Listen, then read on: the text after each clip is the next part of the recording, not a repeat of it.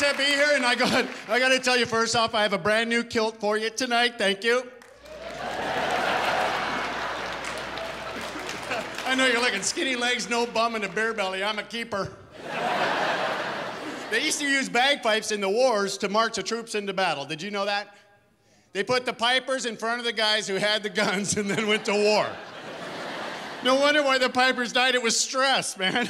they got guns behind them and in front going, I'm doing it right. it was a sick plot to get rid of the pipers. I think infantry's going, I can't take it no more. Let's just put them up front. we're pipers, we're not the brightest. Oh, we'll get there first, you know. All you heard was da na na na na na, followed by.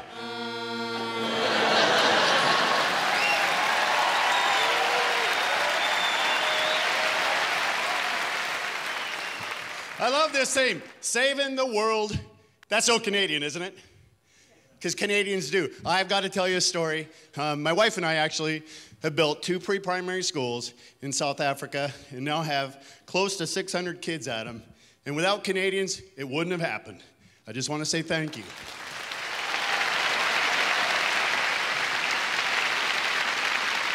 And if you get a chance, go to South Africa and go on safari. It is the coolest thing. I have to tell you, the first night I've ever been in the bush, I was by myself in a very rustic game reserve.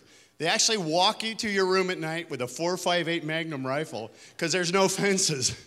Big gun, and they go, Please do not come out till the morning when we fetch you. I get in my room, he shuts the door, and I blow out the candles. There's no electricity, two beds, I have a bathroom, two windows with screens on it, and I don't even fit in the bed. My feet are hanging over the end, pitch black, and all I hear under my bed are, oh, this ain't right. I had a pen light with me too. That's all I had. Any noise I heard. Don't bother looking because you're just going to go, What the hell is that? I have never seen one of those. Whoa, that was fast. I'm laying in bed and the lions came into camp. All you hear is this. Mm.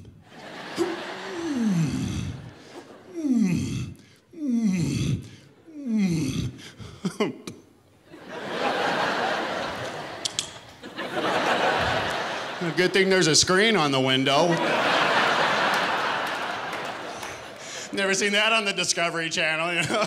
14 lions in a screen door, you know. Mm. Doing, doing, doing. He's got a screen. And then, then he, I met up with my wife, and the ranger goes, Who would like to walk in on foot with two male lions? And I'm a chick, and I said, No way. My wife goes, We will. no, we won't. Yes, we will. The we word. Apparently, we painted the house. I just didn't see her. Get this, I'm not making this as a true story. We're on the walk. There's five of us. We have our ranger up front with the gun for protection, and we're in a single file line. The lady behind me from Germany, no one noticed, was wearing spandex zebra striped pants. what the are you actually in your room going, oh, what to wear? Hmm.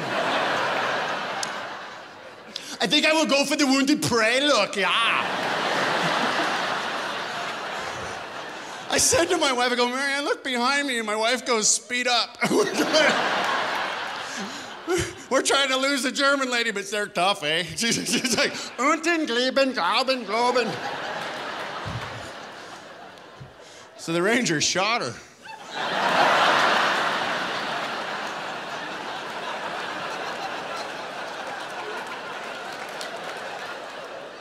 I do travel a lot with my bagpipes, and uh, one thing I love about traveling with bagpipes is they're in my hotel room when people are having a party next to me at night.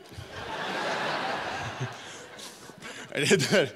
I was in Saskatchewan. I waited till these guys were just so noisy. I said, "Can you please keep it down?" They threatened to do things to me I've only read on the internet, and they like, they, I slammed my door. I went into my room. I waited 4:30 in the morning, dead asleep. I got out. Big Daddy went to the wall.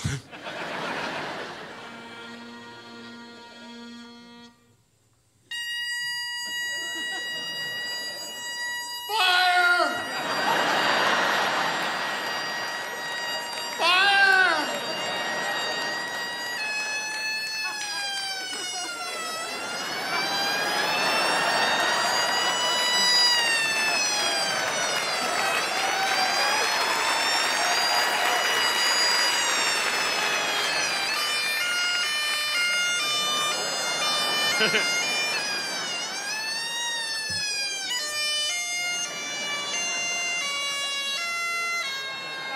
going around the corner. hey, good day, Winnipeg. You've been great.